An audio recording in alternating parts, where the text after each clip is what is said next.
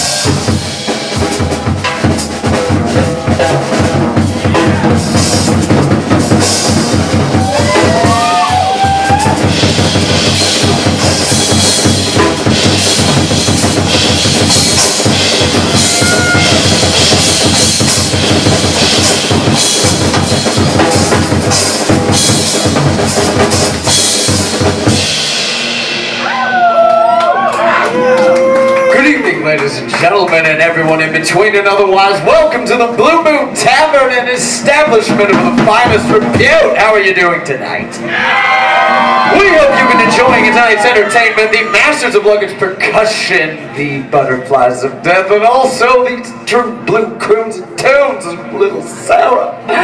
Give them a hand, please